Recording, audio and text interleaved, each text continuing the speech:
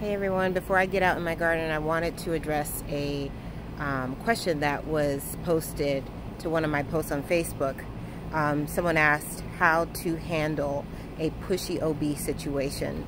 Um, this was in particular to, particular to inductions, but I just kind of want to address it as a broad um, subject or topic because as women, we have to first realize and understand and remember that we are whole grown women. We are grown women. Um, about to become mamas or already a mama. And that does not change when we cross the threshold of an OB office or a hospital. That's first. You are a whole grown woman, autonomous person. You have control over your body and your baby. Now, secondly, we have to remember that our OBs, God bless them, we love the great ones, um, and midwives, they're providing us a service. They have a very respected, skilled trade, and we appreciate that fact. That's why we hire them. However, birth, first and foremost, is not broken. That's something we have to understand, ladies. We have to understand that birth is not a medical situation or condition that occasionally happens naturally. Birth is a natural occurrence, a natural body function that occasionally needs med medical attention. Occasionally. Unfortunately, we don't live in the era that recognizes that. We live in the era of intervention. So there's not many of us that understand our bodies were designed to do exactly what it needs to do. For women who are watching this video, you're not sitting there on the couch or in the car or wherever you are trying to grow lungs and eyes and lips and hair follicles. It was a, it is the miracle of who we are. Okay, so having that knowledge, trusting that first, that you're not broken, unless there is some evidence presented to you that you now need to take into consideration and address. Thank God for modern medicine. Unless other it, it unless you have medical evidence, shoulda, coulda, wouldas don't count. But um, and just because there is a policy in place to protect the hospital and medical malpractice and all of that, doesn't mean that you're bound by it. So one, remembering that you're a grown woman, first and foremost, you don't lose your power walking into the OB office or into the hospital.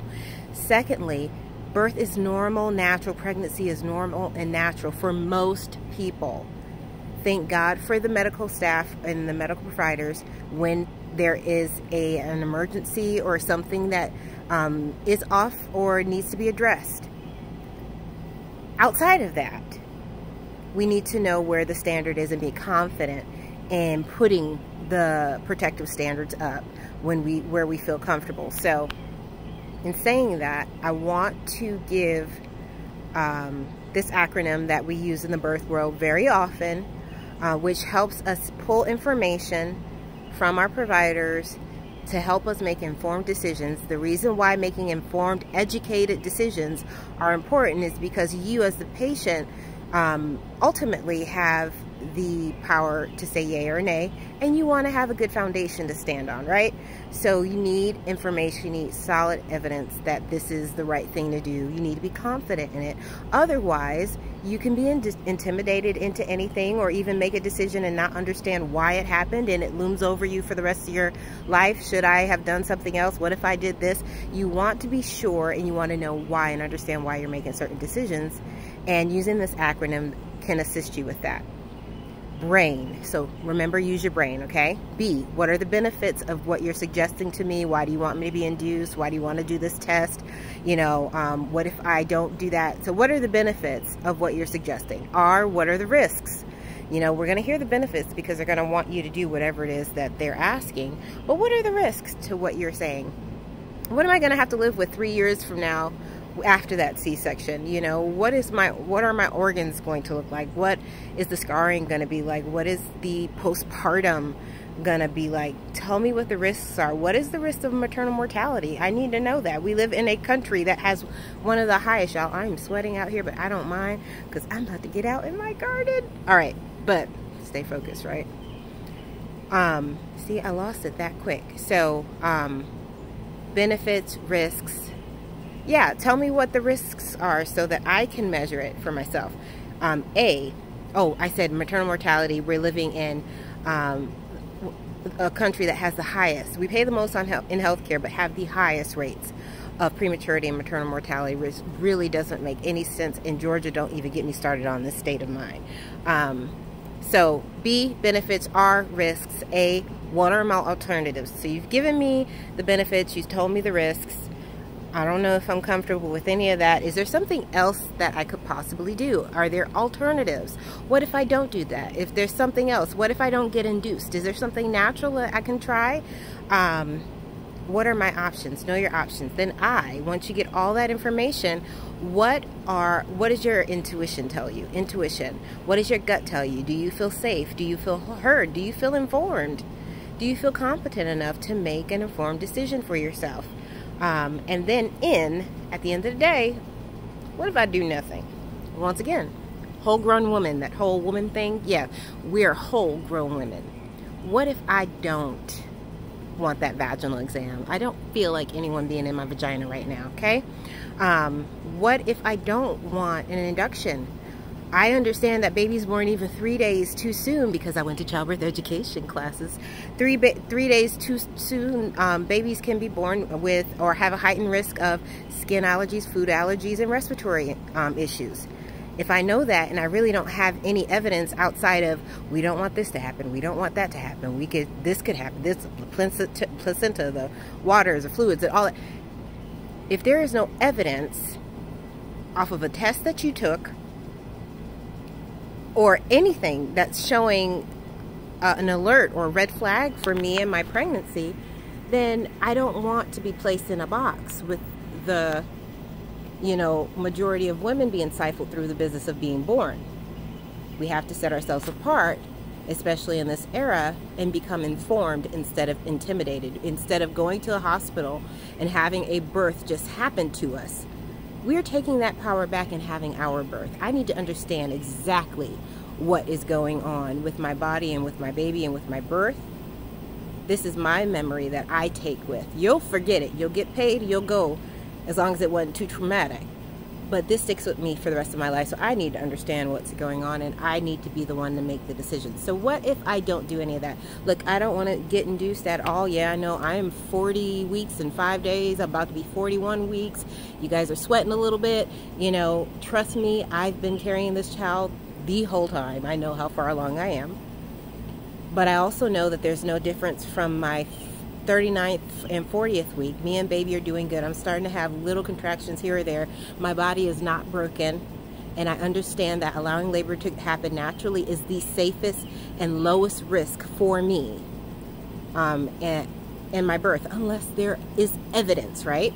So if there's no evidence, if there, if you're just hearing the same routine that most of us hear, um, when we get start to get stifled into the business of being born, the baby assembly line, um, at 38, 39 weeks, then what if I do nothing?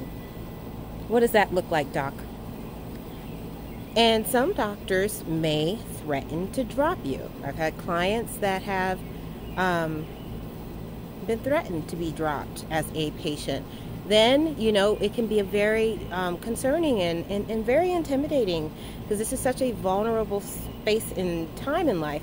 So, what do we do? We look at the reality, okay? Once again, they're providing a service. Is there anyone else that can provide this service to me if I need it?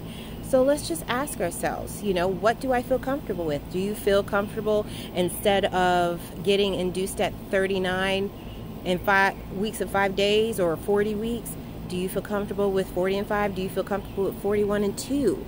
Do you have a, a moment to where you, or a time to where you're like, okay, if I can't go into labor, if I don't go into labor at this time, then I'm okay with this date. If you don't have that date, then you talk about your options now. What's changing? What if my provider does drop me? Hmm. Let's think about that, right? What if they drop me? What does that look like? So when I go into labor, what are you going to do? You're going to go to the hospital for those who are having a hospital birth, right? You're going to go to the hospital And when you go to the hospital, what are they going to do? They're going to check you in. They're going to see you're in labor. They're going to be like, oh crap, she needs to go to labor and delivery right now, right? So you're going to go up to labor and delivery. What's going to happen when you get to labor and delivery? The OB or midwife on call is going to assist you in delivering your baby. At the end of the day, let's think about that. The mother who's threatened to be dropped from that particular OB or midwife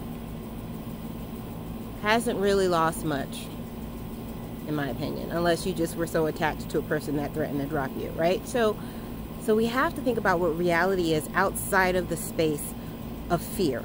Fear, false evidence appearing real. We have to step outside of fear in order to embrace our strength in birth, embrace our confidence in our abilities, embrace, you know, going against the grain sometimes in an era that needs it desperately. Being that impact in, in birth and being that light um, by being educated, being supported, getting a birth team together if you are able. But the best thing you can do is being informed. So, how do you address a pushy OB? You get educated you know your options, you get support, just like you're asking questions. Use your brain, use that acronym benefits, risks, alternatives, intuition, and nothing. Um, and you go in there with confidence and ask the questions. And if if you're not comfortable with being induced at 39, speak up for yourself. I'm not comfortable with that. What now? What does it look like if I don't? What does it look like if I, if I don't get induced at 40 weeks and five days? If my blood pressure is a little high, okay, what is the risks? What are the benefits to doing this? You know, what does your gut tell you? If you do have a doula, get get some information from her on the risks and the benefits and the rates and you know all of the things and you weigh out your options in what you feel comfortable most comfortable doing there is no wrong way as long as you're informed and you understand why you're making the decision you're making. So um, I hope that answers the question for this particular um, woman that was asking, but I thought that was worthy of a video because I get that question often. I address it often with my clients, and it's really something we need to start embedding one in our teaching when we are talking to other women, when we're talking to other birth workers, the importance of restoring confidence in our abilities, restoring the importance, you know, and just hammering in the importance of childbirth education, not just for um, birthing women, not just for their support, um, but even those who are affected by birth and who's not affected by birth. We either are going to give birth to women or we are going to, you know, support or we're going to know someone who's having a child, marry someone you know it affects we don't no one gets into this world without it. So it's beneficial information for everyone. Even the smallest seed planted where there wasn't any knowledge can really change the trajectory on how somebody looks at birth how they feel during their pregnancy and birth. So be encouraged and uh, i'll talk to y'all later